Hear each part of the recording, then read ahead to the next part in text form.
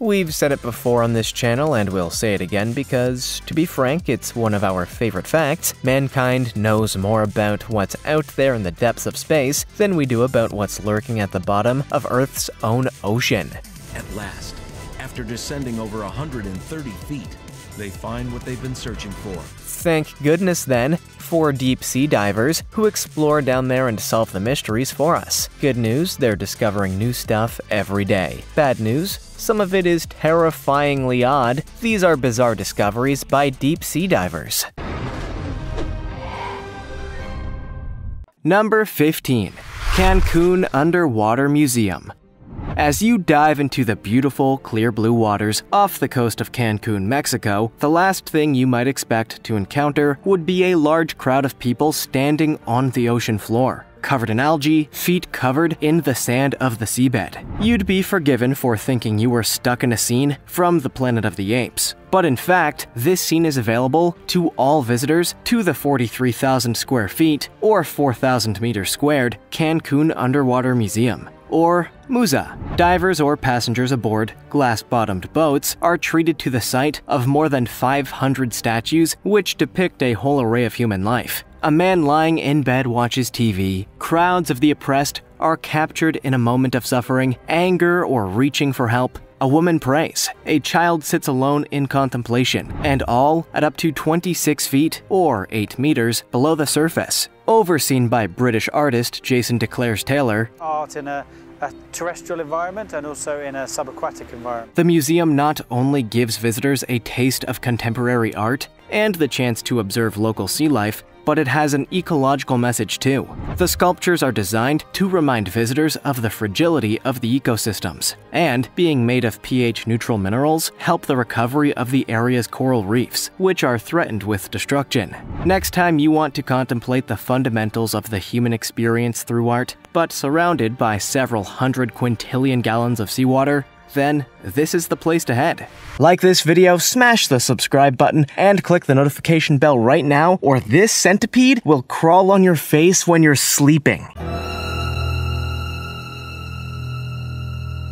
Now it's time for the juicy topic. This photo captures the curious moment a deep sea diver stumbled upon a colossal anaconda in the depths of the ocean. Truly bizarre. Had the snake just fallen into the water, that would make sense. But curiously, the anaconda seemed very settled, showing no signs of struggling to breathe at all. The diver, a Swedish man by the name of Christian, says the snake, who he nicknamed Arthur, seemed oddly at peace with being underwater. Incredibly strange. What do you think? Is this an all new species, or are snakes just better at coping underwater than we ever knew? Comment down below with the hashtag juicy topic and let us know your opinion in relation to what we just showed on screen. With that said, let's keep things moving.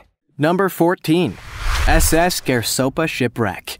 As thrilling as discovering a shipwreck sounds, a lot of the time there's little more than rusting metal and maybe a few unfortunate sailors' bones lying around inside. Not so aboard the wreck of the SS Gairsoppa, a British ship which was torpedoed off the coast of Ireland by a German U-boat in 1941 at the height of World War II's naval showdown. This could be the largest ever known precious metal cargo recovered from the sea. In 2013, divers at almost 3 miles, 5 kilometers below the surface discovered that the Gairsoppa was holding 1,500 silver bars among her ruins, worth $40 million today. Some disputes began between Odyssey, the company who obtained the rights to salvage the wreck, and the British government, in whose waters it lies, about who should get all the silver, with Odyssey in the end agreeing to an 80% cut. Finders keepers, almost. All the same, without their expertise and advanced technology robotic equipment, the loot might have stayed on the ocean floor for good. But as it turns out, it's a record haul and a record depth. Not a bad way to make a living if you're comfortable 5 kilometers below sea level. Number 13 Underwater Icicle. The Icy Fingers of Death. Sounds pretty bad, although in this case it's pretty unlikely to be pointing at you, unless you're a deep sea diver. Also known by the less terrifying name of brinicles, these strange formations are indeed brine icicles, formations of saltwater ejected from sea ice, but nevertheless with a sub zero temperature. So that the salt water descends towards the ocean floor, they form a kind of icicle, a kind of salty stalactite surrounded by a sheath of ice. Once down there, though, passing sea urchins and small fish better watch out, as contact with a brinicle often means being trapped in a frozen prison and death. The underwater icicles form because seawater expels impurities, such as salt, when it freezes. This means that the water around the frozen sea ice becomes more saline, and therefore both denser and with a lower freezing temperature. So the water, filled with salt, which is expelled from the ice above, creates a small tunnel for itself, where the surrounding water does not freeze right away, and the icicle's higher density causes it to sink to the ocean floor. And so, we have the basic conditions for a brinicle. First observed by divers in the 1960s, they were filmed by the BBC in recent years, showing just how beautiful this amazing phenomenon truly is. That is, unless you happen to be an over curious passing sea urchin. Number 12 Lion City, China's Atlantis. Founded some 1,800 years ago, the city of Shicheng was once the thriving cultural, political, and economic center of Zhejiang province on China's eastern coast. Long known as Lion City, it has also become known as China's Atlantis after the Chinese Communist government completely submerged the ancient city 60 years ago. The artificial lake Qiandao was constructed as part of a project to dam the Xinan River and build a hydroelectric power station. The valley in which the ancient city lay was chosen for the dam lake, and the entirety of Lion City soon found itself under 130 feet or 40 meters of water. At last, after descending over 130 feet, they find what they've been searching for. So while the story of Shicheng is perhaps not as mysterious as that of Atlantis, what lies within could not be more spectacular. A vast number of buildings and more than 300 arches displaying elaborate carvings from Han era China and beyond are perfectly preserved beneath the still waters of the fake lake. And the modern Chinese government is hoping to increase tourism in the area with the building of an observation bridge and the introduction of diving tours. And why Lion City? Well, not because of any nautical lions roaming down there, but because the city once stood in the shadow of the Five Lion Mountain, which is now too submerged. That's one deep and strange lake. Number 11. Apollo rocket engines. A furious race against time involving 400,000 Americans, including a handful of German rocket scientists captured from the Nazis during the Second World War, all working on the Apollo project to get a man on the moon back in the 1960s. Engineers chain smoked, drank heavily, worked 80 hour weeks, and had all the associated heart attacks, ulcers, and breakdowns you might imagine with such a schedule. But in the end, they made it and beat the Soviet Union to the moon. And now one of the five engines that helped fire Saturn V has been recovered from the seabed where it landed more than 50 years ago. A heat exchanger and turbine manifold from Apollo 16. The most powerful rocket engine ever built, and one which many NASA scientists say would be impossible to build today, presumably due to early morning whiskey and cigarettes being seen as a little outside of today's health and safety regulations, discarded its engines once the rocket hit around 5,000 miles per hour, 8,000 kilometers per hour. And they landed safely in the Atlantic Ocean, where they remained until a team led by Amazon's Jeff Bezos spotted one of the engines on a dive. After a complex operation, the huge, beat up, rusted lump of brutal rocketry power was extracted from the seafloor and is destined for a place in a museum after a little spit and polish. Number 10. Underwater River.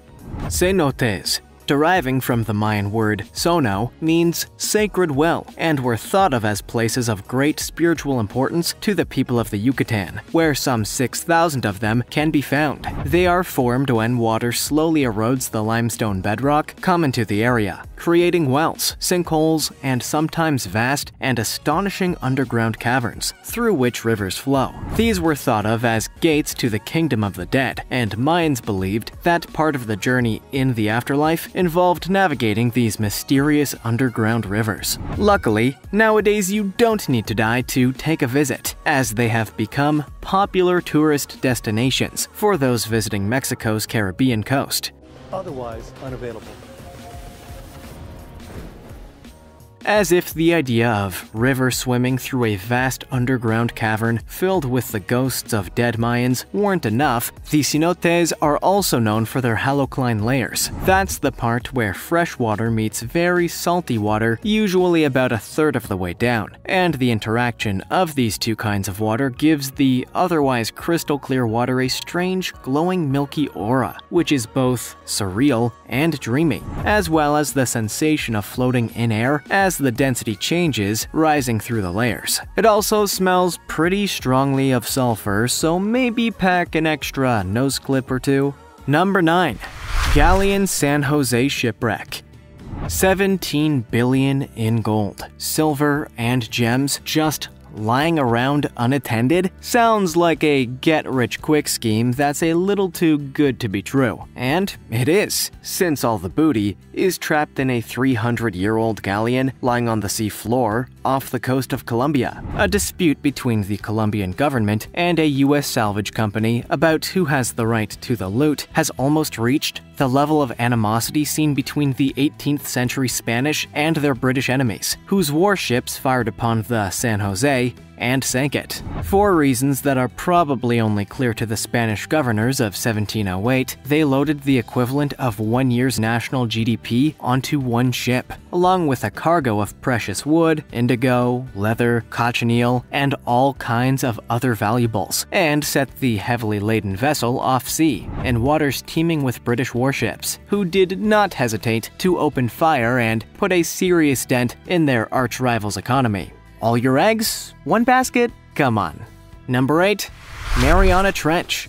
The Mariana Trench is a 1,550 mile or 2,500 kilometer long trench in the ocean floor, which sits around halfway between Japan and Papua New Guinea in the Pacific Ocean. And its deepest point, known as Challenger Deep, is the deepest place on the planet, at some 7 miles, 11 kilometers below sea level. If you threw Mount Everest down there, its peak would still be a full 1.2 miles, 2 kilometers below the surface. Needless to say, the ocean pressure down there is pretty high. It takes a pretty tough submarine to withstand it, and a pretty tough submariner too.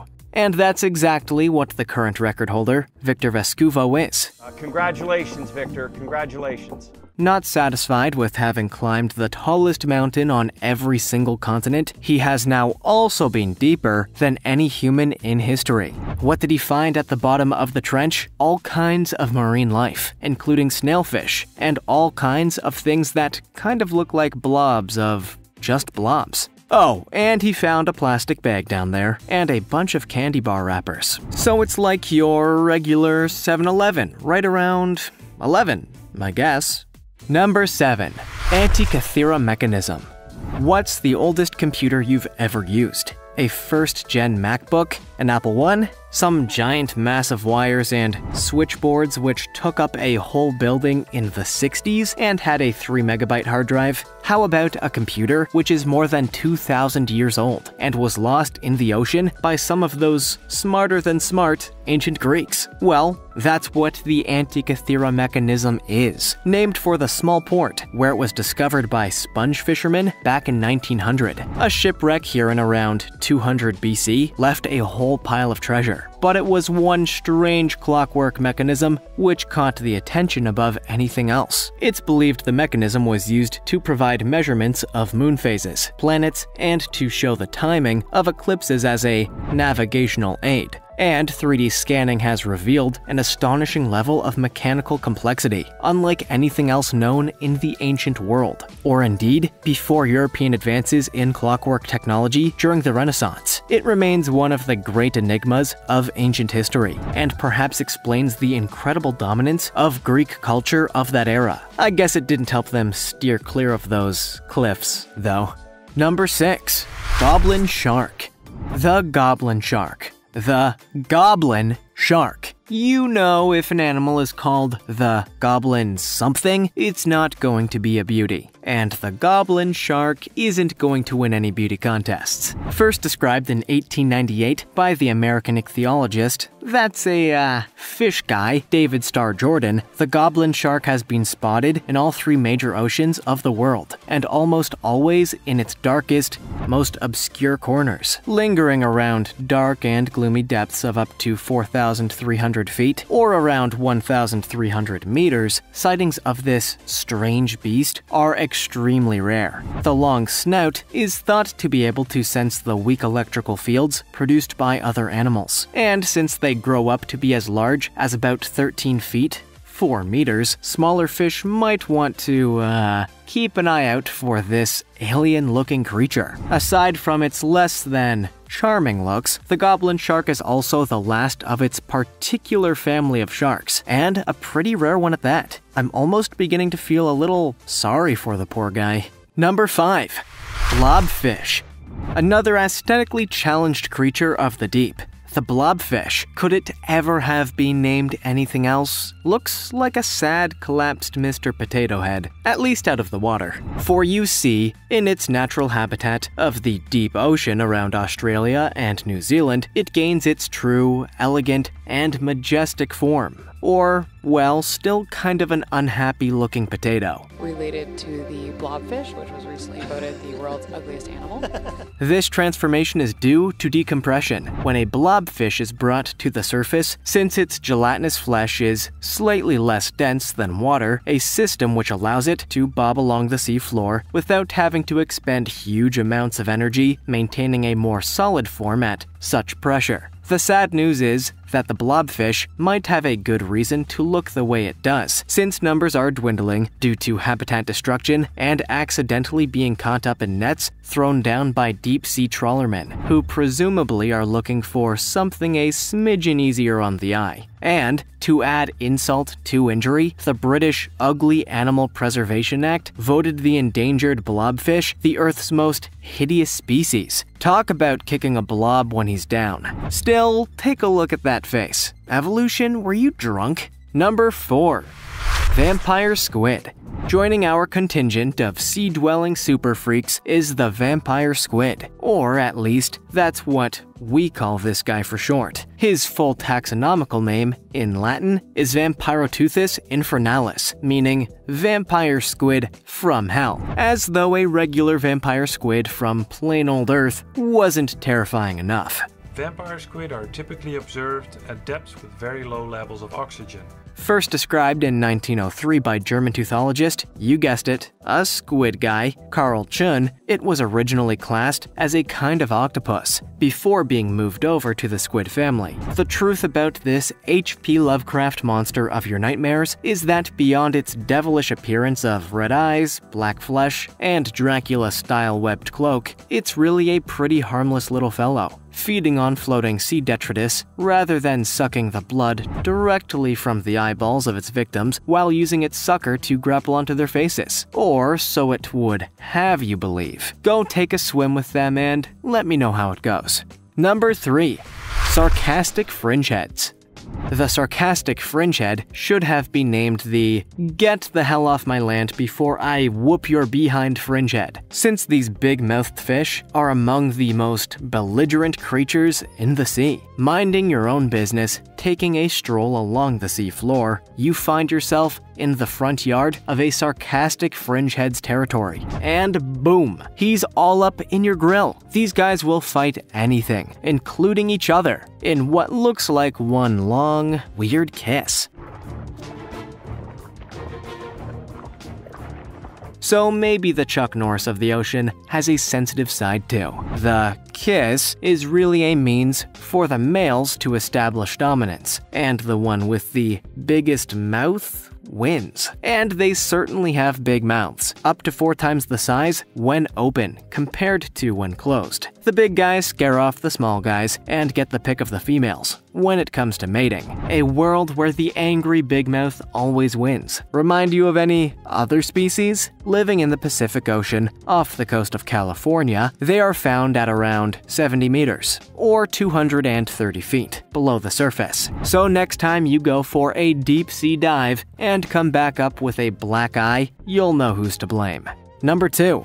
Underwater Temple Garden Bali Photographs of Taman Pura, that's Temple Garden in Indonesian, sparked some wild rumors on the internet some years ago that another underwater Atlantis of the East had been found. An astonishing and wonderful array of submerged statues from the Balinese Hindu temple were at first believed to have been an ancient archaeological site.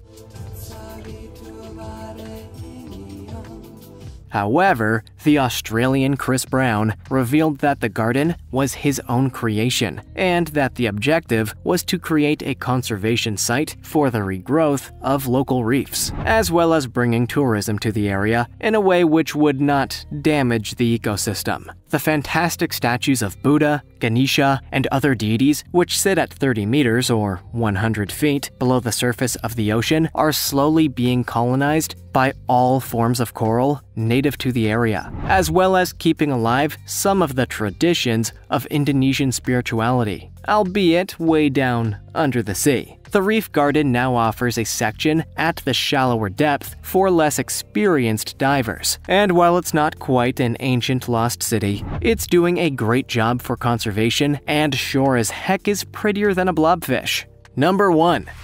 The Ship of Gold. Disaster! Shipwrecked off the coast of the Carolinas, the SS Central America sank to the murky depths, dragging with her some 425 souls to Davy Jones's locker back in September 1857. The ship was sailing from the port of Colon in Panama, and its destination was New York City. Aside from carrying the most unfortunate crew and passengers, it was on an emergency rescue mission for the U.S. economy. The Panic of 1857 was an economic crash which followed the collapse of the Ohio Life Insurance and Trust Company, and the SS Central America was sent with 10 tons of gold in its hold. Back in the days when all you needed to fix an economy was a literal boatload of solid gold, worth, in today's money, around 300 million. The economy was to be saved, but after a stop in Havana, Cuba, the weather decided it had another plan for the ship, and it was lost in a ferocious hurricane. Soon, the wreck became legend, known as the Ship of Gold, after its sparkling cargo, all of which had been prospected during the California Gold Rush. Fast forward to 1988, and an American team recovered the wreck, netting the group's leader, Tommy Gregory Thompson, some 52 million in sales from the salvage. One of the ingots was named Eureka, probably due to it being what the diver would have screamed into the water when he saw its 80 pound or 35 kilo form laying in front of him all covered in seaweed and fish and stuff. Thompson, however, wasn't content with the cool 52 million he made himself and absconded with a large chunk of his investors' share of the profits too, which he successfully hid from investigators after he was caught in 2015. 153 survivors, mainly women and children, did make it off the ship, although there was no record whether any of them managed to sneak a couple of bars of gleaming gold into their lifeboats or not.